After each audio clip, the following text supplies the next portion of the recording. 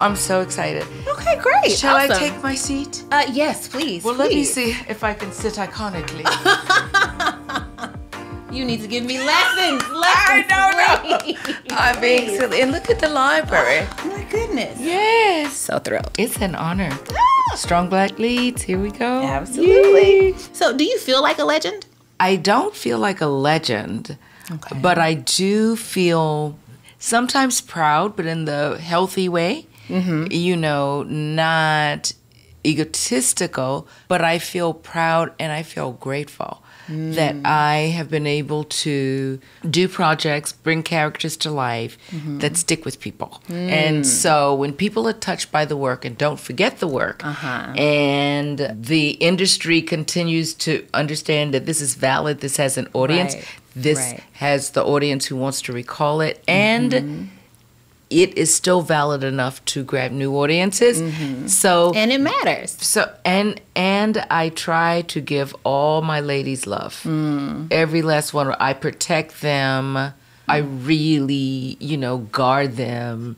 So because so that people will know, you know, mm-hmm. there's so many human beings that people don't understand anything about mm. who happen to you know have melanin involved that they don't get it Yeah. they don't understand that they're black queens. They don't understand a powerful woman who doesn't want to lose her dynasty. So if they want to call it legend, whatever, that doesn't matter. What matters is my continuum of doing great parts.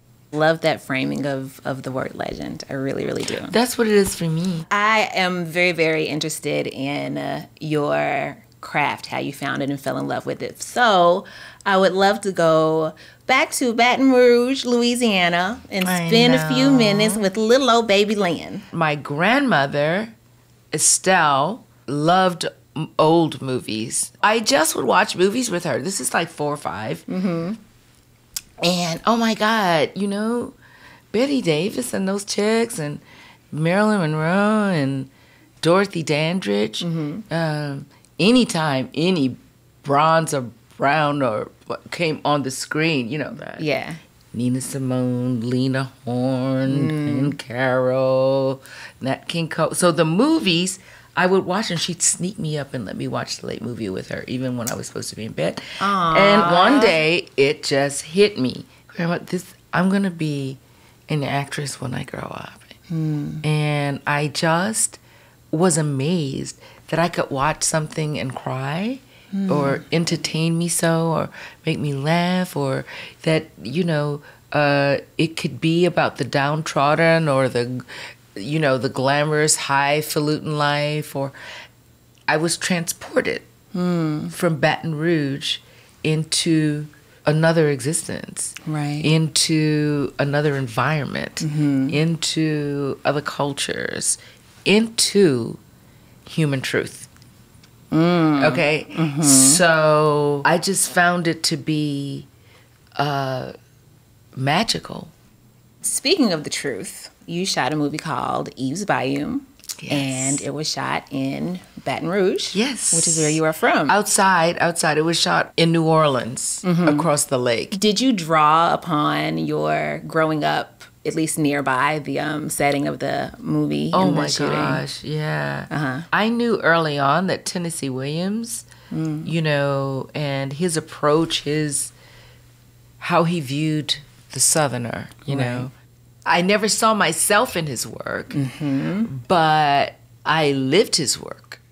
You know, mm-hmm. a, a very complex, very bright, you know, cultural richness of, you know, the gatherings, Was that difficult at all? Like, did you ever find yourself like reliving past traumas or just like tough times in your life because of the setting and because no, of the. what I what I have always been annoyed the African American or the cultural truths of the African diaspora in America and in the South have never been made complex enough. Yeah. It's always so sociological. You know, people want to eat and fighting the racism, which I has to be done. Yeah.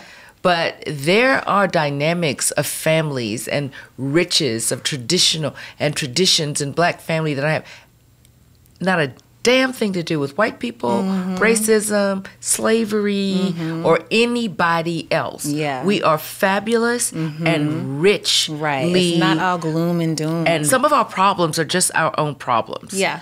Some of our complexity is just ours. Mm-hmm. And I want to own that. And I want to talk about that. So Mm-hmm. I get tired of paying so much attention to things that aren't just interesting people. yeah. So I you know I I don't shy away from those complex issues. It makes acting interesting for me. I mean that's Mm-hmm. Yeah. Mm-hmm. what I love to do. I don't I don't like simplifying it and talking Yeah. down to my audience or And I think that shows in the in your characters and like especially the the complexity. And now, like I said, sometimes it's just about having your game plan and playing the moments. Right. And through the truth, it starts a roadmap. Mm-hmm.